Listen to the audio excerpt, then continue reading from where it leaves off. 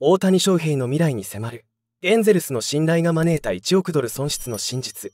大谷翔平の故障に見る背後の事情。メジャーリーグ界に大きな衝撃が走りました。現地時間8月23日ロサンゼルス・エンゼルスの大谷翔平選手がシンシナティレッズとのダブルヘッダー第1戦に先発登板しましたが2回表途中で右肘の疲労感を訴え緊急降板。その後の検査で右肘の靭帯損傷が明らかになり今シーズンを通じての大谷選手の投手としての登板は絶望的とされました。2018年にはすでに右肘のトミー・ジョン手術を受けた経験がある大谷選手。今後再手術の選択を含む多くの決断が待っています。25日から行われるニューヨークメッツとの3連戦では指名打者として出場する予定ですが、野球界には依然としてこの知らせが響いています。今季、アメリカンリーグ MVP を獲得するのではとまで言われたほどの大谷選手になぜこのような悲劇が訪れたのでしょうか。また、今回の怪我は今季限りでフリーエージェント、FA になる大谷選手の今後の契約にどのような影響を及ぼすのでしょうか。英語、スペイン語、そして日本語を流暢に話す名物コラムニスト、ディラン・フェルナンデス記者にその見解を聞いてみました。以下、ヘルナンデス記者の声です。大谷とシャーザー、異なる選択。この出来事を振り返ってみると、エンゼルスは大谷選手に対してあまりにも大きな信頼を寄せすぎたのかもしれません。そして、大谷選手の性格を理解することができなかった可能性も考えられます。個人的な見解としては、これが彼の怪我の原因の一つである可能性を感じています。今季を通じて、彼自身は何かがおかしいと感じていた可能性がありますが、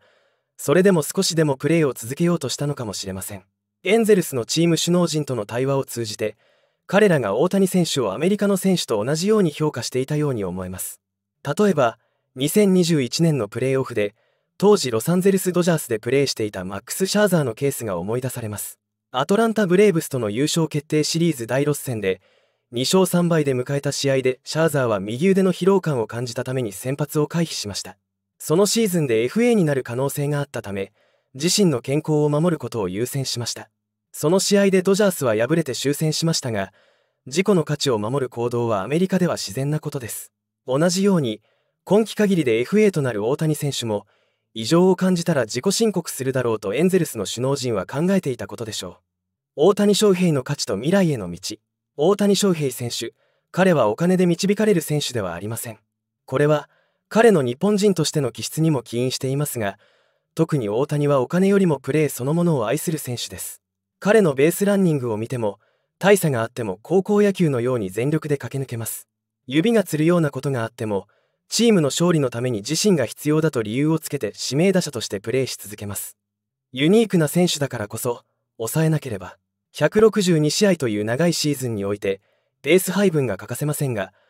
大谷は常に全力でプレーします。これこそが彼の素晴らしさであり、魅力でもあります。その大谷に判断を任せると、毎日プレーしたいと口にし、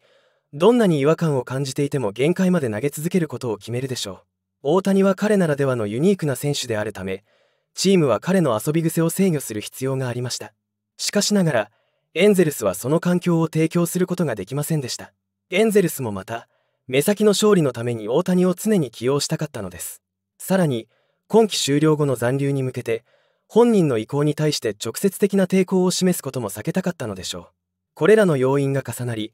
致命的な結果が生じたのではないかと私は考えています。大谷の怪我後、ある球界関係者から、大谷と彼の代理人は、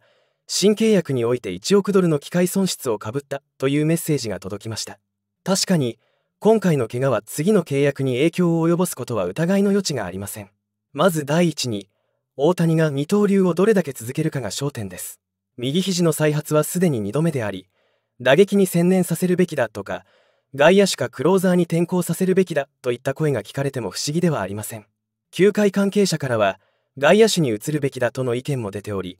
それが実現すれば同様の考えを持つチームもあるでしょう。今季の大谷は打撃だけでも MVP の候補であり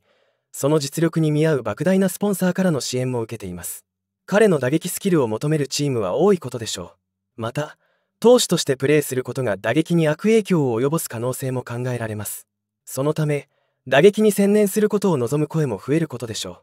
う。二刀流を維持するならばエンゼルスとの再契約も今後右腕の手術は避けられないかもしれませんがその後のリハビリ期間を経て復帰する2025年は厳しいシーズンとなるでしょう。その時大谷を二刀流として起用するチームは他の投手への影響も考慮しなければなりません。この状況を踏まえるともし大谷が今まで通り二刀流にこだわるのであればエンゼルスでの残留が最も可能性が高いと言えるでしょう。そもそも大谷が2018年にエンゼルスに入団した理由は彼が二刀流を熱望しておりその機会を提供してくれるチームでプレーしたかったからです。実際エンゼルスは彼の要望に応える形で彼を受け入れました。もしその要求を受け入れ彼を二刀流としてプレーさせるチームがあるとするならばそれはおそらくエンゼルスだと言えるでしょう。したがってエンゼルスとの再契約の可能性は高まったと言えるのではないでしょうか。大谷翔平選手の怪我の知らせ。非常に残念で心が痛みますが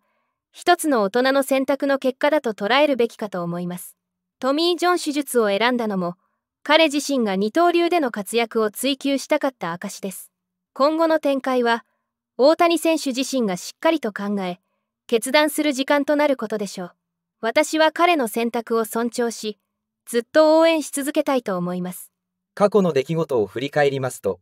爪の割れや豆の影響での登板を見送るべきだったと感じます。その時の判断が人体の損傷につながった可能性もあります。監督やトレーナーの責任も言及されるべきで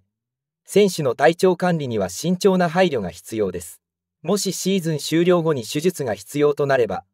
エンゼルスでの継続も考えられますし来シーズンの FA 移籍に際しても新天地でのチーム選びには慎重さが求められるかもしれません。大谷選手の魅力は決して二刀流だけにあるわけではありません。初めは二刀流としての新しさが注目されましたが今や彼はアスリートとしての魅力をさらに高めています。彼には世界中からスポンサーが押し寄せ球場には大勢の大谷ファンが詰めかけています。二刀流だけにとどまらずほとんどの球団が大谷選手を手に入れたいと考えていることでしょう。ただし契約条件が厳しくなることも予想されます。怪我の影響で契約金額の相場が下落したかもしれませんがその分故障リスクの管理を含むプログラムを提示する球団が求められるでしょう。エンゼルスには故障の経験と周囲の状況も考慮すべきがついています。エンゼルス以外でも大谷選手を歓迎する球団は多いでしょう。ですが金額だけでなく彼の健康と二刀流の復活のための環境整備に優れたプランを持つ球団を選ぶことが肝心です。大谷選手の判断が求められるフリーエージェントでじっくりと選択してほしいと願います。永遠に続く奇跡などは存在しない。それは皆様もご理解いただけることでしょう。二刀流としての幕引きがむしろフェードアウトよりも突然だったことはある種のらしさを持っていると言えるかもしれません。しかし失われたわけではない。二刀流がいかに特別だったか再認識する機会を持つことが大切です。これからは打者専念のシーズンがやってくるかもしれません。そこで彼がジャッジの記録を塗り替える可能性も秘めているのです。二刀流は一時休止となりますがその奇跡を改めて感じられる瞬間が訪れることを願っています。そして二刀流でなくても大谷翔平選手の価値は少しも薄れません。彼の魅力は今後もきっと私たちを魅了し続けることでしょう。大谷翔平選手についての今回の話題心からお伝えしたいと思います。大谷君お金よりも大切なものを追い求めていることは明らかでしょう。しかし FA の契約金額に関しては彼自身が直接決定するわけではありませんもし2度目の怪我が現実となっていたとしたら超大型契約後の状況が厳しくなる可能性も考えられます。3シーズンにわたる奇跡のような活躍に心から感謝し、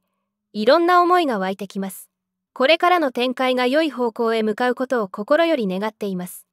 怪我の経緯について、ディラン・ヘルナンデス記者の指摘はおおむね正しいと思います。大谷選手が無理してでも出場したい気質は理解できますし、その思いに共感する方々も多いことでしょう。新たな監督や GM が意見できる余地は限られているのかもしれませんね。そうした状況から考えると、エンゼルスに泊まることで同じパターンが続く可能性があります。このタイミングで、大谷選手にとっての正しい判断ができる環境を提供してくれる球団への移籍を願ってやみません。今季、投手としての登板はないという明言がありました。その代わり今季の残りは打者に専念するということ。大谷選手のバッティングの成績がどのようになるのか楽しみでもありますね。同時に投手としては治療に専念し来季以降適切なスケジュールでのローテーションでの投げ込みを続け二刀流を実現するペースを保つことが重要かと思います。そのスタイルでも彼の存在は大きな衝撃をもたらすことでしょう。どの選択をするにせよ変わらないのは私たちファンの応援です。手術するか否か。そして今後のプレーの方針についてはまだ分かりませんが状況に応じて外野でも活躍する可能性があるかもしれませんね。器用な大谷選手ならショートなどの守備もうまくこなせるでしょう。ただ個人的には彼自身がピッチャーと打者の二刀流にこだわる姿勢を尊重したいと思います。彼の未来が輝くものでありますように。